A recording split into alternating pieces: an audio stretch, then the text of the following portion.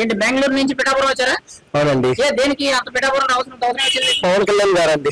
Main reason Pawan Kalyan గారు the great personality India ఇప్పుడు మీరు గ్రేట్ పర్సనాలిటీ అని చెప్పి ఇండియాలో చెప్తున్నారు. నిజాయితీ పరుడు మంచివాడు అని అంటారు. ఎందుకు ఆయన అంత మంచివాడు అయ్యాడు? అంత మీకు ఆయన మీద ఎందుకు అంత నమ్మకం సింపుల్ అండి. మన దగ్గర ఒక వెయ్యి రూపాయలు ఉందంటే మీరు ఒక వంద రూపాయలు ఖర్చు పెట్టమన్నారంటే జస్ట్ దానం చేయమంటే మనం పది సార్లు ఆలోచిస్తాం. అరే నేను ఎందుకు ఇవ్వాలా? నేను కష్టపడి సంపాదించిన డబ్బు. వాళ్ళకి ఎందుకు ఇవ్వాలా అనే ఆలోచన ఉంటది. కానీ పవన్ కళ్యాణ్ గారు అట్లా కాదు. వెయ్యి రూపాయలు కాదు. వీలైతే ఇంకా కష్టపడి ఎక్స్ట్రా కష్టపడి ఒక ఐదు వందలు కూడా తీసుకొని వచ్చి ఇద్దామనే తపన. Vasavi online services. మా వద్ద పాస్పోర్ట్ వీసా సర్వీసెస్ కలవు. వీసాలో ninety nine percent approval success rate ఉంది. Please contact eight zero one nine four eight two five double four. So అలాంటి వాళ్ళు చాలా తక్కువ మంది ఉంటారు. మీరు బాగా చూడండి ఎక్కడ దొరకరు. సో అందువల్ల ఆయన అంటే ఆ ఇన్స్పిరేషన్ అన్నమాట. Okay. నేను మనం సహాయం మనం ఎంతవరకు చేయగలుగుతాము కంపల్సరీ అండి. ఆల్రెడీ ఒక రెండు వందల మందిని కలిశానండి. ఆటోలు అక్కడ ఇక్కడ ఆటో ఎక్కి ఒక టెన్ మినిట్స్ ఒక ఊరికి వెళ్ళడము ఆ ఆటోలో ఉన్న వాళ్ళతో మాట్లాడడము అలా ప్రచారం చేశా. నైన్టీ నైన్ పర్సెంట్ అందరూ ninety nine percent Pawan Kalyan మీరు రావాల్సిన అవసరం లేదండి నేనే వేస్తాం అంటున్నారు బట్ స్టిల్ మన సహకారంతో ఒక్క పది ఓట్లన్నా మనము ఈ న్యూట్రల్ క్యాండిడేట్స్ ఉంటారు కదా అటు ఇటుగా వాళ్ళని మన సైడ్ మార్చుకొని ఇంకా ఆపోజిట్ క్యాండిడేట్స్ కూడా ఒక ఇద్దరు ముగ్గురు యువతలకు వచ్చారంటే సంతోషం. అది మీ శ్రమకు తగ్గట్టుగా ఒక ఇద్దరు ఆల్రెడీ. ఆల్రెడీ ఒక ఒక ఆరు మూట్లు మార్చాను. ఒక ఆటోలో ఒక అతను వైఎస్ఆర్ సిపి వేస్తామన్నారు సో ఎందుకు ఏంటి అని కనుక్కొని ఆయన ఏజ్ అరవై పైన ఉంది. ఆయనకి ఇద్దరు కూతుర్లు. Hmm. సో వాళ్ళకి మనవాళ్ళు మనవరాళ్ళు. అడిగాను ఎక్కడ చదువుతున్నారు? అంటే ఇక్కడ ఏదో చిన్న స్కూల్లో వండి వండినట్లు అన్నారు. అంటే చెప్పాను నీకు డబ్బులు ఇస్తున్నాడు అమ్మఒడిని. ఏమన్నా డెవలప్ అయ్యారా? లేదు. ఒకసారి పవన్ కళ్యాణ్ గారిని చూడండి మీకు తెలుస్తుంది. గవర్నమెంట్ స్కూల్స్ అంటే ఎలా ఉంటాయి? ఏ విధంగా ఉంటుంది? మీ పిల్లలు కూడా నాలాగా రేపు ప్రయోజకులు అవుతారు.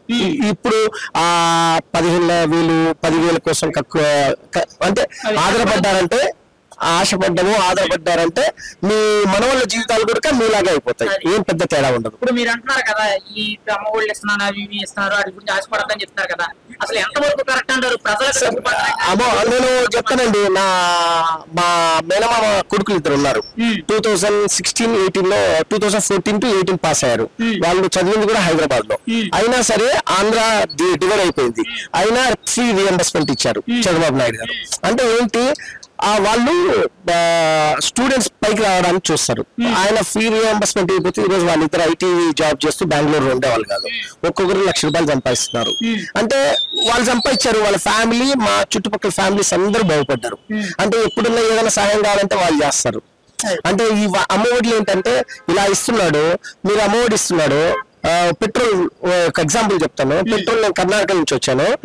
ఇక్కడికి అక్కడికి పదకొండు రూపాయలు డిఫరెన్స్ ఉంది. పదకొండు రూపాయలు. కర్ణాటక. ఆ, కర్ణాటకకి ఆంధ్రాకి. ఇప్పుడు చాలా మంది చెప్పేది ఏంటంటే కర్ణాటకకి ఆంధ్రకి బోర్డర్లో ఉండే వాళ్ళందరూ కూడా కర్ణాటకకే ట్యాక్స్ కడుతున్నారంట ఎందుకంటే ఇక్కడ ఇక్కడ ఇక్కడ పది రూపాయలు పెడితే అక్కడ ఎనిమిది రూపాయలుగా ఎందుకంటే నేను మా ఊరికి వెళ్ళేటప్పుడు నాది కర్నూలు డిస్ట్రిక్ట్ బనగానపల్లి. Hmm. నేను కర్ణాటక వాటర్లో ఫుల్ చేయిస్తానండి ట్యాంక్. మళ్ళీ కర్ణాటక వరకు బ్యాక్ బ్యాక్ వెళ్ళేంత వరకు రావాలి. ఎందుకంటే మన వాడు అలా చేస్తున్నాడు. ఆ ఒకటండి పెట్రోల్ డీజిల్ అని ఎందుకన్నానంటే దీని ద్వారానే ప్రతి ఒక్క అంశము యాడ్ అయి ఉంటది. మన నిత్యావసర వస్తువులు ఎందుకు పెరిగిపోయాయి? మీరు కర్ణాటకకి ఆంధ్ర తెలంగాణకు చూసుకుంటే ఆయిల్ గాని రైస్ గాని షుగర్ గాని ఏది ఒక పదిహేను ఇరవై రూపాయలు డిఫరెన్స్ ఉంటుంది. ఎందుకంటే ట్రాన్స్పోర్టేషన్ గుర్తించలేదని కాదు న్యూట్రల్ ఉన్న వాళ్ళు ఆల్రెడీ డిసైడ్ అయిపోయారు. ఏమంటే కొంతమంది ఉంటారు చూడు వాళ్ళు వాళ్ళని మనం ఏం చేయలేం వాళ్ళు ఏమంటే నాకు డబ్బులు వస్తున్నాయి నేను చూసుకుంటున్నా. అంటే కానీ వాళ్ళు ఖర్చు పెట్టేది తెలియడల్లా అసలు ఎంత వరకు కరెక్ట్ అంటారు? ప్రజలకి డబ్బులు ఇచ్చి సోమరపోతులు చేయడం అది అది జాబ్ ఒక చేతగాని దద్దమ్మ చేసే పనులండి. ఒక చేతగాని దద్దమ్మ ఇప్పుడు నా కూతురికి ఒక వెయ్యి రూపాయలు ఇచ్చా అనుకోండి జస్ట్ నువ్వు ఏమేమి చేయాలన్నావు అనుకోండి ఫస్ట్ ఇంట్లో ఏమేం కావాలో చూసుకుంటది. తర్వాత మనం ఎవరికైనా అప్పున్నామో వాళ్ళకి ఇచ్చుకొని తర్వాత దానం చేస్తది. ఇప్పుడు గవర్నమెంట్లో జగన్మోహన్ రెడ్డి ఉన్నాడు. ఇన్ని లక్షల కోట్లు ఇస్తే ఫస్ట్ చేయాల్సింది డెవలప్మెంట్ తర్వాత మనం నిత్యావసరాలు ఏ- ఎలా తగ్గించాలా రేట్లు ఇవన్నీ చూసుకొని మనం సంక్షేమం చేయొద్దాం కొంతమంది ఉంటారు. ఇప్పుడు ఫిజికల్ హ్యాండిక్యాప్స్ వాళ్ళు పని చేసుకోలేరు. వాళ్ళకి మనం పెడితేనే చేయగలుగుతారు. ముసలి వాళ్ళు ఉన్నారు పెన్షన్ వాళ్ళకి. వీళ్ళ ఈ రెండు గ్రూప్స్కి చేయాలి. ఇంకా చదువుకునే పిల్లలకి నువ్వు చదివించారనుకో నీ పేరెంట్స్ చాలు. మా మా తిండి మేము తింటాము. చదివించడానికి ఒకటి మీరు ప్రోత్సహించండి. ఆ చదువుకు ఒకటి ఫెసిలిటీస్ కల్పిస్తే సరిపోతుంది. చాలు. గవర్నమెంట్ స్కూల్స్ బాగా పెట్టండి ప్రైవేట్ స్కూల్స్లో ఫీజులు తగ్గించండి. అండ్ ఒక్కటి. ఒక్కటే మీరు బాగా గమనిస్తే ఎప్పుడు గ్రాఫిక్స్లో ఒక్కటే ఒక స్కూల్ కనిపిస్తుంది. ఆ స్కూల్లో పిల్లలు ఇంగ్లీష్లో మాట్లాడతారు. అంతే. ఎక్కడ లేదు. మీరు మన పదకొండుపల్లికి వెళ్ళి చూడండి లేకపోతే పిఠాపురం గవర్నమెంట్ స్కూల్కి వెళ్ళి చూడండి. లేకపోతే పిఠాపురం బస్ స్టేషన్ చూసి చూడండి. కాకినాడ బస్ స్టాప్ తెలిసిపోతుంది కదా. అంతా నిజాయితీ లేదు. నిజాయితీ లేదు. నేను చూస్తున్నాను కదా. నిన్న నేను మళ్ళా టూ డేస్ కిందట సోమరకోట నుంచి వచ్చానమాట Hmm. వచ్చేటప్పుడు ఆ దారి చూస్తే ఎంత ఘోరం అండి నిన్న రాజమండ్రికి వెళ్ళాను. రాజమండ్రి హైవే కూడా. At least national highway touch అయ్యేంత వరకు. ఆ స్టేట్ హైవే అంత పెద్ద పెద్ద బైపాస్ రోడ్ అంతా బొర్రలే. బొరలే ఇప్పుడు ఏంటంటే ఇప్పుడు మీకు ఆంధ్రాలో రోడ్లు పోనా మీకు కర్ణాటకలో రోడ్లు పోనా కంపేర్ చేయొద్దండి. Karnataka is the best Karnataka best అంటారు. అక్కడ మళ్ళీ కాంగ్రెస్ వచ్చింది బీజేపీ ఉన్నది. అయినా సరే రోడ్లు వాళ్ళకి అంటే తెలివి ఉందన్నమాట మినిమం ఓకే ప్రతి రాజకీయ నాయకుడు కొద్దిగా తింటాడండి. ఆ, కానీ ప్రజలు కనీ చేస్తారు. ఇక్కడ ఏమి చేయడు అన్ని తినడమే కదండి. ఆ, ఇసుక మాఫియాల గురించి చెప్పుకుంటూ పోతే నిన్న నరేంద్ర మోడీ గారే చెప్పారు. ఇప్పుడు మీరు కర్ణాటకలో ఐటీ ఎంప్లాయ్ అంటున్నారు. ఇక్కడ ఆంధ్రాలో ఐటీ సెక్టర్ ఎలా ఉందంటారు? లేదండి వస్తే నేను మూవ్ అయిపోదామని. అమరావతికి వైజాగ్ మూవ్ అయ్యి మన ఆంధ్ర ఖచ్చితంగా. చంద్రబాబు గారు ఇక్కడ- జీరో కదండి. ఉన్న SCL tech Mahindra HSBC banks అన్ని తరలిపోయాయి కదా. సో హైదరాబాద్కి బెంగళూరు కి. ఇంకా కష్టమే అండి అంటే ఇతను మళ్ళీ వచ్చాడంటే ఇంకా అయిపోయిందండి ఆంధ్ర. బీహార్ కాదు ఇప్పటికి బీహార్ అయిపోయింది. ఇంక ఇప్పుడు మనం ఆఫ్రికన్ కంట్రీస్లో ఉగాండా. ఆ, జాంబియా ఇలాంటి కంట్రీస్ చూసుకోవాలంట. ఆ దాంట్లో పోల్చుకోవాలి. అంటే బుట్టలు కూడా ఉండవు వాళ్ళకి ఊరికే బేస్ కట్టుకొని తిరుగుతా ఉంటారు. తిరుగుతున్నావో తెలియదు అలా ఉంటారన్నమాట. వాళ్ళు అక్కడ జీపులు వచ్చి ఇట్లా ఇసిరేస్తుంటారు కదా ఆ పరిస్థితి ఇస్తాడండి అప్పుడు సునకానందం అనమాట ఆ బస్సు కూర్చొని సెక్యూరిటీ గార్డ్ వేసుకొని ఆహా ఎంత నీచ నికృష్టంగా అయిపోయారు మన వాళ్ళు. అలా ఉంటే నాకు సంతోషం. ఆయనకు ఎప్పుడు మనిషి పచ్చగా ఉన్నాయంటే నచ్చదు. సొంత చెల్లెళ్ళే అమ్మనే పంపించేశాడు. ఆయన ఏంటి?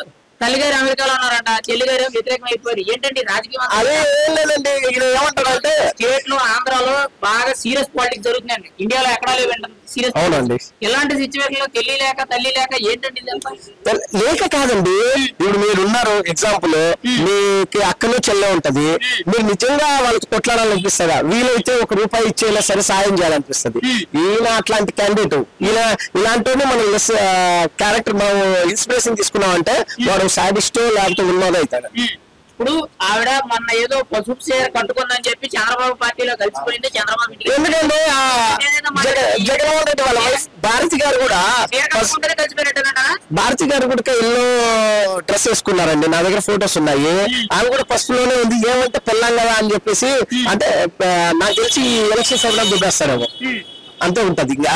ఇది కాదు అసలు ఏంటంటే ఇప్పుడు ఆయన్ని ఆ, ఎలా చూసినా సరే మరి ఆయన రెండోసారి గెలుస్తాడు అంటున్నారు మరి ఛాన్సే లేదండి. ఆయన గెలిచాడంటే ఆంధ్ర వాళ్ళు బతక వాళ్ళ జీవితాన్ని వాళ్ళు నాశనం చేసుకున్నట్లు. ఇంకా ఏం చేయలేం. మీరైతే అవకాశం ఏం లేదు. ఇవ్వరా? ఛాన్సే లేదు. అతనికి అవకాశం ఇచ్చినామంటే నేను ఆంధ్రాకి రావడం ఇప్పుడు రోడ్ల కాదు అంతా నీళ్ళే. నీళ్ళు లేకపోతే చెరువులు. అంతే. అది. ఫైనల్గా ఒక మాట ఎలాంటి ముఖ్యమంత్రిని మళ్ళీ చూడాలనుకున్నారు మీరు? సార్ విజనరీ ఉన్న చంద్రబాబు నాయుడు పవన్ కళ్యాణ్ గారు కలిస్తే వీళ్ళిద్దరు. ఎందుకంటే చంద్రబాబు నాయుడు కొన్ని ఉన్నాయి నెగటివ్స్ నెగటివ్స్ అంటే కొన్ని చెప్పినట్టు చేయరు. కానీ పవన్ కళ్యాణ్ లాంటి గట్టి వ్యక్తి ఉన్నారంటే పక్కన అది డిఫరెంట్ ఉంటది. అది. అది ఏమంటారంటే రాముడి చేతిలో అర్జున్ చేతిలో బాణం ఉంటది చూడండి బ్రహ్మాస్త్రము. అలా ఉంటది స్ట్రాంగ్ నేను చెప్తున్నా కదండి Pithapuram will be one of the best place in Andhra Pradesh.